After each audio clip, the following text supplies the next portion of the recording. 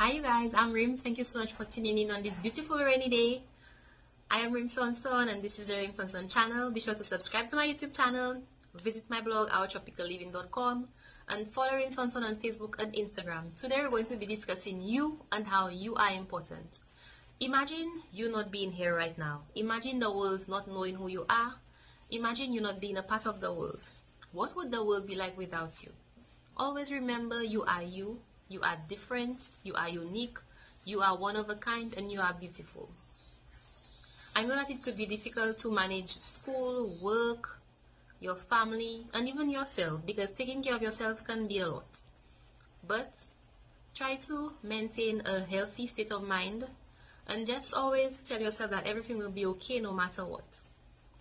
Tell yourself that you are important that you are contributing to the betterment of your community, you are contributing to the betterment of your country, you are contributing to the betterment of the world, and that you are important. I know that it could be difficult to hassle everything that's going on, and just be true to yourself. I can remember when I was going to school full time and working full time, I really believed that I would go into severe depression. But as with everything in life, time passes and we tend to look back on things and just realize that, you know what, hey, well, that was just a small block along the way, but I did overcome. And it is behind me. I have moved on, I have moved forward, and I am feeling better about yesterday.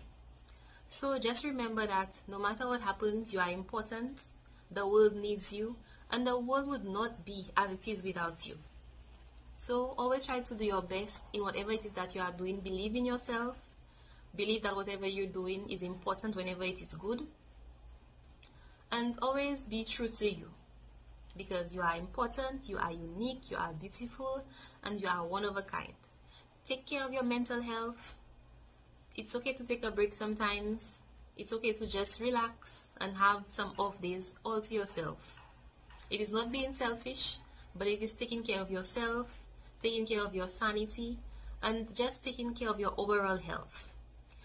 Many times individuals suffer with mental health illnesses and we do not even know, we do not even pay attention to it until sometimes we hear that, well, hey, this individual has gone through so much that they had to go to a mental institution for counseling, for assistance, and sometimes to overnight because the pressures of this world was just so much to bear.